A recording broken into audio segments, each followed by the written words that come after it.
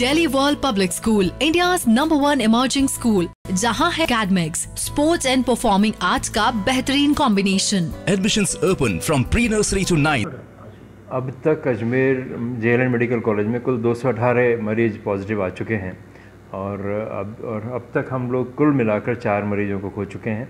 और कुल मिलाकर तिहत्तर मरीजों को हम लोग डिस्चार्ज कर चुके हैं मतलब उनको ठीक कर चुके हैं उनको क्वारंटीन सेंटर भेजा जा चुका है। आज के बाद आज हाँ अब तक कुल आज इस वक्त जब हम लोग बात कर रहे हैं तब तक की बात है क्योंकि हमारी रिपोर्ट लगातार आती रहती है लगातार पेशेंट डिस्चार्ज होते रहते हैं। नेगेटिव रिपोर्ट आएगी डिस्चार्ज कर देंगे पॉजिटिव रिपोर्ट आएगी शिफ्ट कर देंगे। ये हमारा सतत प्रक्रिया है इसमें कोई ऐसा विराम वाली कोई बात नहीं है। रात को दो दो बजे तक भी होता है। आज कहाँ कहाँ से मामले आज हमारे पास जो तीन पेशेंट्स आए हैं तीनों अजमेर लोकल ही हैं उसमें दो अंदर कोट के हैं और एक कहीं और के हैं। महिला हैं दो और उनको तीनों को ले लिया हमने शिफ्ट कर लिया है हमारे पास आ गए हैं और सभी लोग ठीक हैं। एक और गर्भवती महिला उनको भी प्रसव पीड़ा हुई अभी थोड़ी देर पहले उनको हमने लेडी डॉक्टर को बुला के दिखाया उन्होंने देखा। लेडी डॉक्टर बुला के अब तो हमने round the clock lady doctor की ड्यूटी यहीं फ्लोर पर लगा दी है। कुल मिला के हमारे पास में आठ गर्भवती महिलाएँ हैं जिसमें से चार जो हैं वो पोस्टमार्टम हो जाएँगी। पोस्टमार्टम मतलब इनका ऑपरेशन होना है हो चुका है और चार को अभी गर्भ है।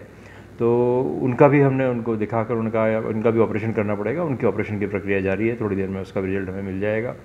और बाकी सारी व्यवस्थाएँ हमारी पूरी हैं।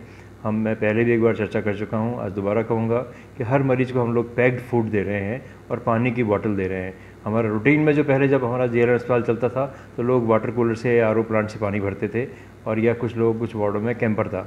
अब चूँकि ये बीमारी ऐसी है कि एक से दूसरे को बहुत जल्दी से इन्फेक्शन होता है तो इसको देखते हुए हमने मरीजों का खाना भी बिल्कुल अलग कर दिया। हर मरीज़ को अलग प्लास्टिक का डिब्बा बंद खाना मिल रहा है और प्लास्टिक की बॉटल में पैक्ड वाला पानी मिल रहा है, जिससे एक से दूसरे के इन्फेक्शन की कोई संभावना नहीं है। आज जो तीन मरीज़ आए, उनकी हिस्ट्री क्या है?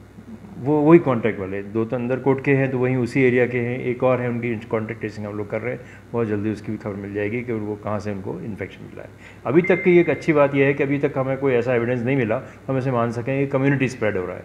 अभी तक तो हर मरीज़ का कॉन्टैक्ट ट्रेस हो रहा है तो इसलिए ऐसा डरने वाली बात अभी तक नहीं लग रही है।